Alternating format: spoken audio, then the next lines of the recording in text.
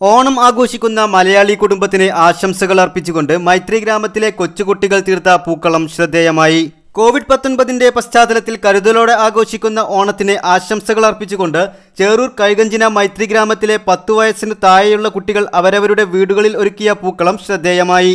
ഈ പ്രതിസന്ധി ഘട്ടത്തിൽ പൂവിന് പ്രാധാന്യം നൽകാതെ ചെടികൾ വിവിധയിനം പച്ചക്കറികൾ പുല്ലുകൾ പാഴ്വസ്തുക്കൾ തുടങ്ങിയവ ഉപയോഗപ്പെടുത്തിയാണ് പൂക്കളം നിർമ്മിച്ചത്. കുട്ടികൾക്ക് പ്രകൃതിയുമായുള്ള ബന്ധം കലാപരമായ ആശയങ്ങൾ എന്നിവ വികസിപ്പിക്കുന്നതിന് കൂടിയാണ് ഇത്തരത്തിലുള്ള പരിപാടിക്ക് മൈത്രി ഗ്രാമം റെസിഡൻസ് അസോസിയേഷൻ മുൻകൈയെടുത്തതെന്ന് ഭാരവാഹികൾ പറഞ്ഞു.